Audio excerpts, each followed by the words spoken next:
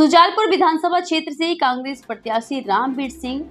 सिकरवाल ने आज कांग्रेस के राष्ट्रीय सचिव महेंद्र जोशी और अन्य वरिष्ठ नेताओं के साथ ही तहसील कार्यालय पहुंचकर नामांकन किया वही बता दें कि ए और बी फार्म दाखिल किया गया कांग्रेस प्रत्याशी रामवीर सिंह सिकरवार का